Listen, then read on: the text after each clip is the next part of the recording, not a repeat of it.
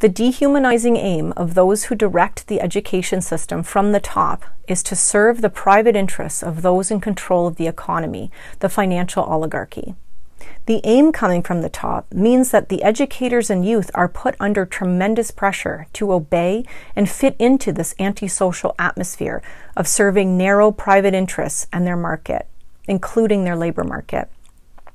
They are forced to fend for themselves and do whatever it takes to secure a niche for themselves in the education system and labor market the financial oligarchs control.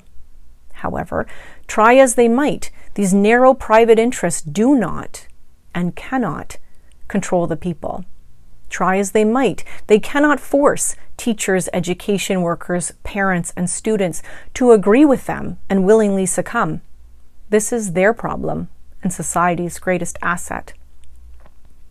While getting an education is a source of constant worry for the younger generations, because of the cost and the dog eat dog, everyone fend for themselves culture, many youth are defying this dictate in order to build a bright future for themselves.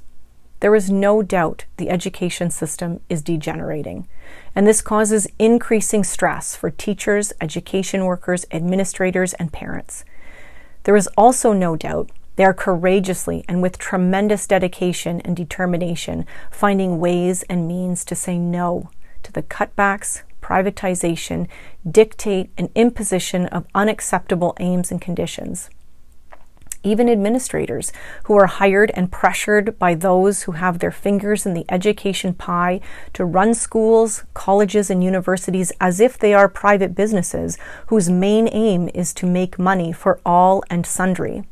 They are speaking out despite threats of job loss and other forms of reprisal. This resistance, this refusal to give in, this spirit of saying no when necessary, makes the unity in action among educators, support staff, students, and parents life giving and important.